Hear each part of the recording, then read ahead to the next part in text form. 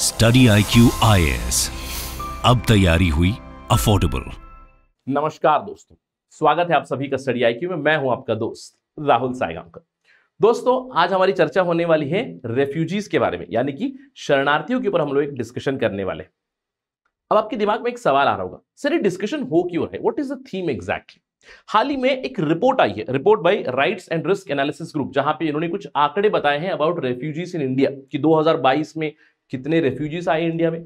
किस राज्य में सबसे ज़्यादा रेफ्यूजीज आए? अभी तक 2022 तक, कितने रेफ्यूजीज हैं भारत में? कितने रजिस्टर्ड है? कितने अनरजिस्टर्ड है? तो हम लोग इन सभी चीज़ों के बारे में जानकारी लेने वाले हैं उस पर्टिकुलर रिपोर्ट से। अब आप सोच रहे होंगे, सर, ये तो केवल आंकड़ों का डिस्कशन है क्या? नहीं। ऑफ़ कोर्स हम लोग आंकड़े तो जानने वाले हैं ही, लेकिन मैं कहूँगा, हमारी इन जनरल डिस्कशन होने वाली है भारत की रेफ्यूजी पॉलिसी के बारे में। कैसे इंडिया शरणार्थियों को हैंडल करता है? क्या इतिहास रहा है इस चीज़ का? इन सभी चीज़ों के ऊपर हम लोग जानकारी लेने वाले हैं। तो ये बहुत ही महत्वपूर्ण चर्चा होने वाली है आपके लिए। अगर आप यूपीएससी सिविल सर्विस की तैयारी कर रहे हैं या फिर स्टेट पीएससी की तैयारी कर रहे हैं both from prelims as well as mains perspective क्योंकि प्रिलिम्स के दृष्टिकोण से किस तरह के सवाल बन सकते हैं, किस तरह के टॉपिक इंपॉर्टेंट है मैं आपको बताऊँगा। साथ ही साथ, इस डिस्कशन के एंड में आपके लिए मेंस बेस्ड एक प्रैक्टिस क्वेश्चन भी है।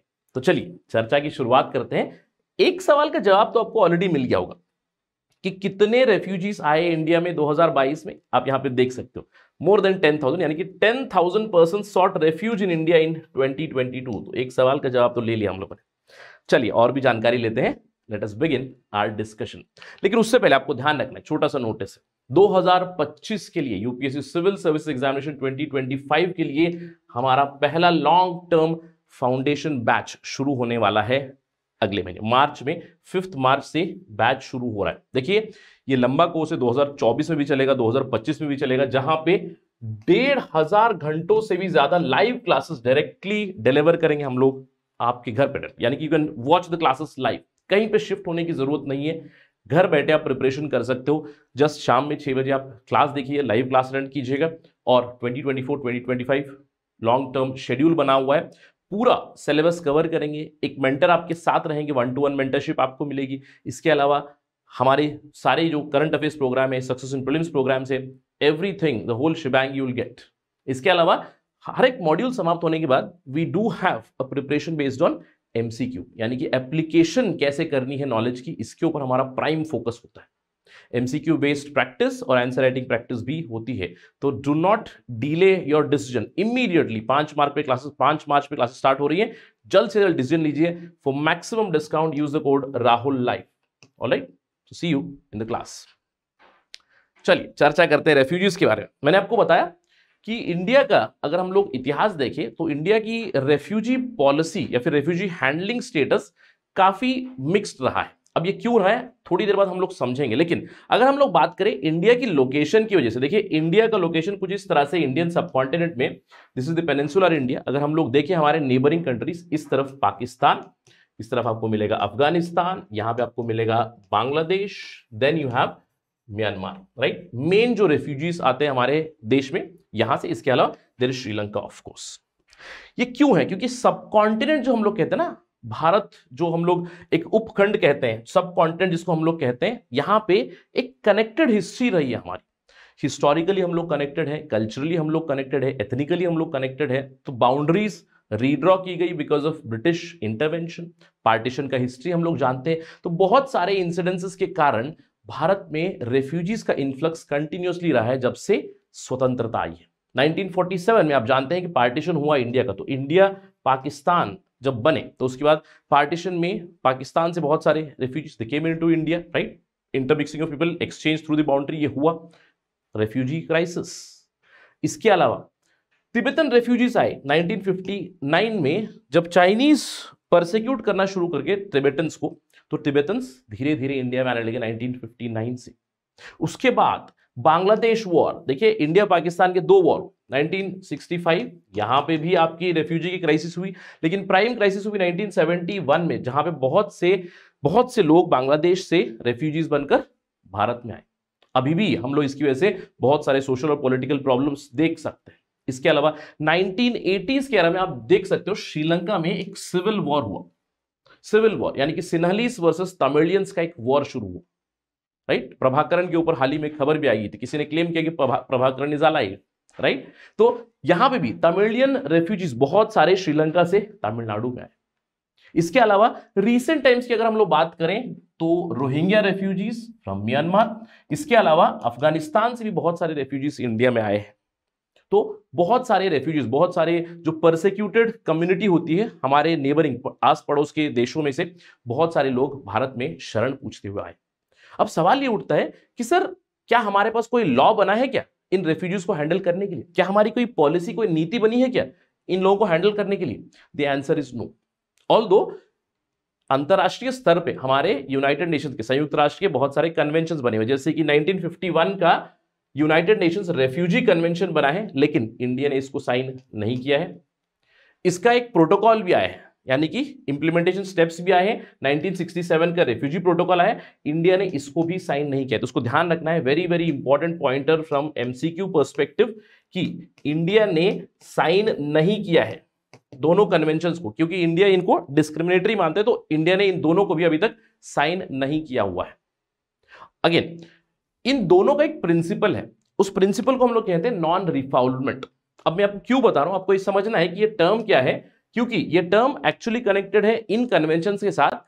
इस टर्म को जानेंगे क्योंकि हम लोग कहीं ना कहीं इस चीज़ को एक्सेप्ट करते हैं। थोड़ी देर बाद आपको पता चलेगा कि हम लोग ये चर्चा भी क्यों कर रहे हैं। देखिए, उन दोनों कन्वेंशन यानी कि कन्वेंशन में प्रोटोकॉल में कॉन्सेप्ट है नॉन रिफाउलमेंट का। तो आपके सिंपल सा एमसीक्यू में बना सकता हूँ। नॉन रिफाउलमेंट का मतलब क्या है? नॉन रिफाउलमेंट का मतलब है कि अगर किसी दूसरे देश में कहीं पे सिटीजन को आपत्ति आई है तो अगर वो अपना देश छोड़कर दूसरे देश में आ रहे हैं, समझ लीजिए कि अफ़गानिस्तान, अब अफ़गानिस्तान में तालिबान का राज चला तो वहाँ पे समझ लीजिए कि छह महिलाएँ, आधा डजन महिलाएँ वहाँ से अफ़गानिस्तान से भाग निकल के भारत बॉर्डर पे आए और भारत में उन्होंने शरण पूछी, ठीक है? अब जब भारत में शरण पूछी तो भारत एक्सेप्ट करेगा, क्योंकि वापस अगर भेजेंगे तो उनकी लाइफ को खतरा हो सकता है, उनकी फ्रीडम को खतरा हो सकता है। तो प्रिंसिपल ऑफ़ नॉन रिफॉल्वमेंट यही है। मैंने बस उदाहरण से आपको समझाया कि किसी देश से अगर कोई शरण पूछते हुए आया तो उन्हें वापस उस देश में हम लोग डिपोर्ट नहीं करेंगे अगर उनकी लाइफ को, उनकी स्वतंत्रता को खतरा है। तो ये प्रिंसिपल ऑफ़ नॉन रिफॉल्वमेंट है इन यूनाइटेड नेशंस और ये मोस्टली इंटरनेशनल लॉ का भाग है। कॉमन सेंस भी हमें बताता है कि अगर कोई आपके पास प्रोटेक्शन के लिए आए, कोई आपके पास शरण के लिए आ रहा है तो अगर हम उन्हें जहाँ से आए, वहाँ पर वापस भेजेंगे तो वहाँ पर भेजेंगे तो भाई उनकी जान को खतरा होगा। तो हम नहीं भेजेंगे। कहीं ना कहीं अडेप्ट करने की कोशिश करेंगे, असाइलम देने की कोशिश करेंगे, कुछ प्रावधान ज़रूर बनाएँगे। ये संयुक्त राष्ट्र के कन्वेंशन में भी है।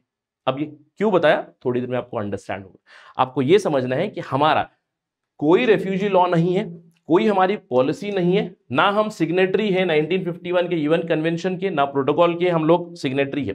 तो अब सवाल ये कि सर, हम लोग हैंडल कैसे करते हैं? हम लोग हैंडल करते हैं through our own domestic rules, regulations और लेजिस्लेशन जो भी हमारे दूसरे लॉ से कोई डेडिकेटेड लॉ नहीं है, लेकिन जैसे कि हमारा फॉरेनर्स एक्ट है, पासपोर्ट एक्ट है, सिटीजनशिप एक्ट है, नागरिकता कानून जो है, उसके अंदर जो अमेंडमेंट भी आया, इन सभी को अप्लाई करते हैं हम लोग रेफ्यूजीज के ऊपर और रेफ्यूजीज को इन्हीं इन्हीं रूल्स एंड रेगुलेशन से हम लोग रेगुलेट करते हैं। ठीक है? अब सवाल ये उठता है कि सर अभी तक हम लोगों ने किस तरह से रेगुलेट किया है? क्योंकि आपने बताया कि अलग अलग देशों से रेफ्यूजीज आए इंडिया में नंबर्स तो हम लोग थोड़ी देर बाद बात करेंगे। लेकिन इंडिया का ट्रैक रिकॉर्ड क्या रहा? है या फिर किस तरह से हम लोगों ने हैंडल किया है? देखिए India although UN convention को नहीं मानता है लेकिन 2016 में हम लोगों ने न्यूयॉर्क डिक्लेरेशन को ज़रूर माना है। अब ये न्यूयॉर्क डिक्लेरेशन एक नॉन बाइंडिंग डिक्लेरेशन है with respect to refugees and migrants जो भी माइग्रेंट्स है, शरणार्थी है, उनके प्रति कुछ कुछ रूल्स एंड रेगुलेशंस कुछ स्ट्रॉन्ग कमिटमेंट्स बोल्ड कमिटमेंट्स को हम लोगों ने माना था। ठीक है? अब इसका मतलब क्या है कि जो भी आएँगे माइग्रेंट्स हो रेफ्यूजीज हो, उनके, उनकी ह्यूमन राइट्स को हम लोग प्रोटेक्ट करेंगे। जो भी शरणार्थी रहेंगे, अगर उनके बच्चे हैं तो उन्हें एजुकेशन मिले जल्द से जल्द। कोई वायलेंस ना हो sexual violence gender based violence ना हो। इसके अलावा रेस्क्यू करेंगे, हम लोग रिसीव करेंगे होस्ट करेंगे। जेनोफोबिया नहीं होगा, यानी कि उनके खिलाफ कोई डिस्क्रिमिनेटरी पॉलिसीज़ नहीं होंगी। इस तरह के कुछ कमिटमेंट हुए थे दो हज़ार सोलह में तो हम लोगों ने इसको ज़रूर माना हुआ है राइट आपको ध्यान रखना है यूएन कन्वेंशन ऑन रेफ्यूजीज को हम लोगों ने एक्सीड नहीं किया है but we are a signatory हम लोगों ने इसको साइन किया हुआ है ठीक है? हम लोगों ने इस, न्यूयॉर्क डिक्लेरेशन को साइन किया केवल एक डिक्लेरेशन है जिसको जिसके हम भाग थे।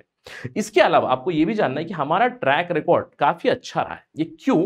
मैं कहूँगा इनफैक्ट कुछ डेवलप कंट्रीज़ से भी बेटर रहा है स्पेशली यूरोपियन कंट्रीज़ जहाँ पे वो अभी माइग्रेंट्स को रेफ्यूजीज को नहीं मानते हैं कुछ कुछ कंट्रीज़ लेकिन इंडिया का रेफ्यूजी का without any policy without any law हमारा रेफ्यूजी हैंडलिंग जो ट्रैक रिकॉर्ड रहा है वो काफ़ी अच्छा रहा है। ये क्यों है?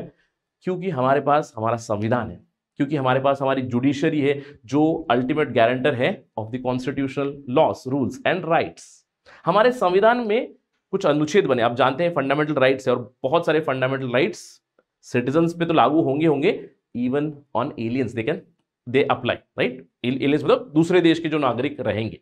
Not the enemy aliens of course you know that जैसे आर्टिकल 14 राइट टू इक्वालिटी उन पे भी अप्लाई होगा. राइट टू लाइफ जो है आर्टिकल 21 इसको सबसे ज़्यादा जुडिशरी ने एक्सपैंड किया है. और इसी इसी अनुच्छेद के दायरे को और भी बढ़ाया है अलग अलग जजमेंट्स में. तो आर्टिकल 21 में every every person has right to life and personal liberty तो even refugees would get that इसके अलावा आर्टिकल 51 में, जैसे हम लोग इंटरनेशनल लॉस ट्रीटीज को अपोल्ड करते हैं, हम लोगों ने न्यूयॉर्क डिक्लेरेशन को माना है.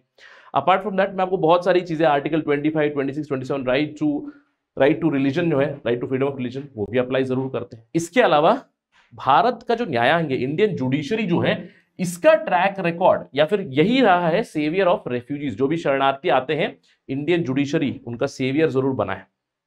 बहुत ही फ़ेमस केस में 1996 के NHRC versus Arunachal Pradesh case में सुप्रीम कोर्ट ने क्लियरली बताया है कि सभी को every human being has right to life citizen हो या otherwise everybody has right to life इसके अलावा रिसेंट टाइम में 2016 में in Dongh Lian Kham versus Union of India case Supreme Court ने क्लियरली स्टेट किया, इसलिए हम लोग वो डिस्कशन भी किया था, हम लोगों ने नॉन रिफाउलमेंट का, कि the principle of non refoulement is a part and parcel of article 21 of Indian constitution यानी कि हमारे राइट टू लाइफ में प्रिंसिपल ऑफ़ नॉन रिफॉर्मेंट भी इंक्लूडेड है। ऑल दो इसके ऊपर आप सवाल उठा सकते हो, क्योंकि जुडिशरी का जो मैं कहूँगा जजमेंट या फिर वर्डिक्ट रिकॉर्ड रहता है कभी कभार सी सॉ होता है डिपेंडिंग ऑन द सिचुएशन क्योंकि पिछले साल आई थिंक 2021 में 2021 22 के टाइम में कुछ वर्डिक्स एडवर्स भी आए थे। जब बहुत सारे बहुत सारे केसेस आए थे और रोहिंग्या रेफ्यूजीज उसके ऊपर काफ़ी चर्चा भी हुई थी। अभी भी अभी भी रोहिंग्या रेफ्यूजीज की हैंडलिंग के ऊपर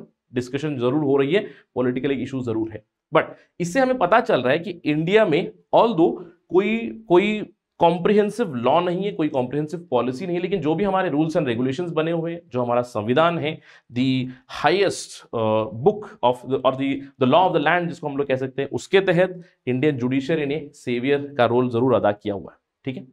राइट अब सवाल उठता है कि अभी तक का क्या स्टेटस है? सर आपने बताया कि काफ़ी अच्छे से हम लोगों ने रेफ्यूजीज को हैंडल किया है। Then what what is what is the status as of now जैसे आप यहाँ पे देख सकते हो, ये रिपोर्ट है rights and risk analysis group की। इन्होंने बताया कि 2022 में दस हज़ार से भी ज़्यादा लोगों ने भारत में शरण मांगी। ठीक है? अब स्टेटस क्या है? 2022 के आपको नंबर्स बता रहा हूँ, अभी तक, यानी कि 2022 तक के क्या नंबर है? भारत में पिछले साल दस हज़ार से भी ज़्यादा लोग शरण मांगे थे, दस हज़ार से भी ज़्यादा लोग, उसमें सबसे ज़्यादा what is the epicentre Mizoram. इसको ध्यान रखना है। अगेन इसके ऊपर भी एमसीक्यू बन सकता है कि Mizoram receive the highest number of refugees in 2022 अभी जो नंबर्स आए, ये क्यों आए? ऑफ़ कोर्स हम लोग जानते हैं कि हमारे जो पड़ोसी देश में प्रॉब्लम्स चल रही है। आप जानते हो कि म्यांमार में एक मिलिट्री कू आया है।